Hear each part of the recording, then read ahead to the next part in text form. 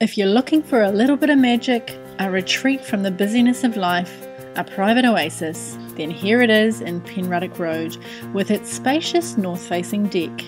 At one end, a master bedroom with walk in wardrobe and ensuite, opening up to a spacious living room that steps out onto the deck and overlooks an enticing spa, which you could even negotiate to keep.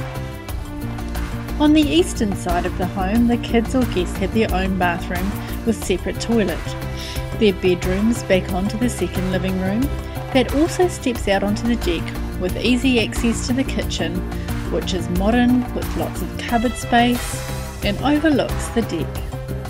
A quick walk to shops, cafes, and movies at Highland Park, walking distance to schools including Pakuranga College and Farm Cove Intermediate, this fabulous piece of New Zealand could be yours.